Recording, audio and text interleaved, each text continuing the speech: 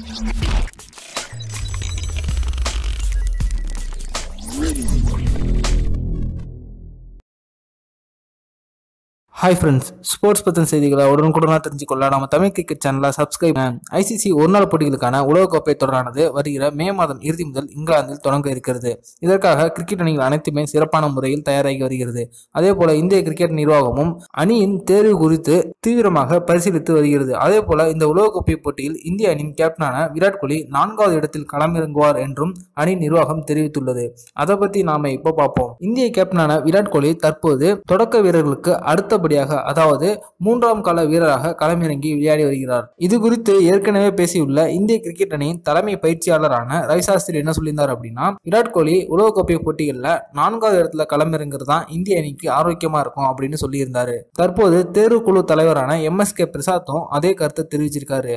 இது குறித்து எம்எஸ்கே பிரசாத் என்ன சொல்லியிருக்காரு அப்படின்னா விராட் கோலி தொடர்ந்து மூன்றாம் கள வீரராக தான் களமிறங்கி வராரு. நாம இந்திய அணியில முதல் மூன்று வீரர்களை மாற்றம் செய்யணும். எப்போதுமே நாம தொடக்க வீரர்களை தொந்தரவு செய்யக்கூடாது. அதனால சிக்கர் தவான் மற்றும் ரோஹித் சர்மா இவங்களே தான் தொடக்க வீரர்களா தொடருவாங்க. ஆனா மூன்றாம் கள வீரராக களமிறங்குற விராட் கோலியை நான்காவது வீரராக களமிறக்கினா அது இந்திய அணிக்கு மேலும் வலுவை சேர்க்கும் அப்படின்னு அவர் சொல்லியிருக்காரு. அவர் இதற்கு என்ன உதாரணமா சொல்றாரு அப்படின்னா சாம்பியன்ஸ் டிராஃபி ஃபைனல்ல இதே மாதிரி பாகிஸ்தானுக்கு எதிரான ஆட்டத்துல முகமது அமீரோட பால் ஓவரில் ரோஹித் சர்மா தன்னோட விக்கெட்டை சீக்கிரமே இழந்து வெளியேறிவாரு. அந்த சமயத்தில் பாலானது ரொம்பவே வேகமா திரும்புச்சு. அதனைத் தொடர்ந்து களமிறங்கிய விராட் கோலியும் விரைவாகவே தன்னோட விக்கெட்டை பறி கொடுத்துருவாரு அந்த மாதிரியான நேரத்தில் வேறொரு வீரரை களமிறக்கி பொறுமையா விளையாட வச்சோம்னா அதன் பிறகு பாலின் வேகமானது குறைந்துவிடும். அதன் பிறகு விராட் கோலி களமிறங்கினார்னா அணியோட ஸ்கோரை உயர்த்துறதுக்கு ரொம்பவே ஈஸியா இருக்கும் அப்படின்னு சொல்லியிருக்காரு. எனவே உலகக்கோப்பை போன்ற பெரிய போட்டிகளில் அணியோட சூழ்நிலைக்கு ஏற்ப விராட் கோலியை பாதுகாத்து வச்சு பின்னாடி நான்காவது காலத்தில் இறக்குனோம்னா அது இந்திய அணிக்கு வலு சேர்க்கும் அப்படின்னு சொல்லியிருக்காரு. அது மட்டும் இல்லாமல் விராட் கோலியோட இடமான மூன்றாவது இடத்துல